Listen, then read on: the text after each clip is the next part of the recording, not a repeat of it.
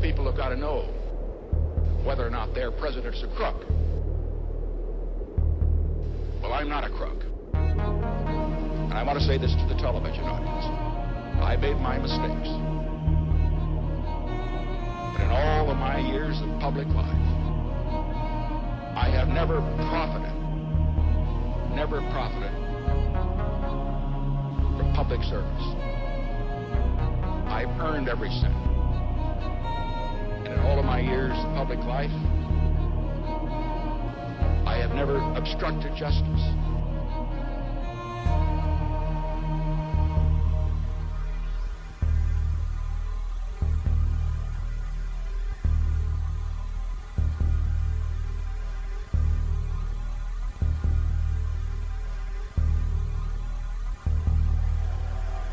And I think, too, that I could say in my years of public life,